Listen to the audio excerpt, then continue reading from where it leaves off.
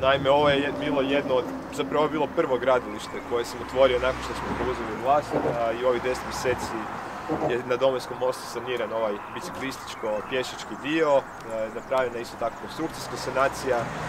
Ovo je prva takva, ajmo reći, konstrukcija, prvi takvi radovi nakon 2007. kada je most napravljen, znači nakon 15 godina. A, koštali su 13,5 milijuna kuna i to je nastavak ove priče koje smo rekli da ćemo potrošiti do kraja mandata oko 400 milijuna kuna u ulaganja u sanaciju i posebice konstrukcijsko ojačanje svih mostova u gradu Zagrebu. Dio toga ćemo financirati iz proračuna, međutim dio toga ćemo financirati iz EU projekata, odnosno EU fondova. Na tu temu smo imali jučer jedan dobar sastav sa Ministarstvom prometa, odnosno ministrom Butkovićem i o financiranju mostova, ali i oko nekim drugim prometnim projektima vezanim za javni prijevoz u gradu Zagrebu, vezano isto tako za cestovni prijevoz, ali o tome ćemo nešto kasnije govoriti u sljedećih nekoliko tjedana zajedno, ministar Butković i ja, kad ćemo već krenuti u realizaciji nekih tih zajedničkih projekata.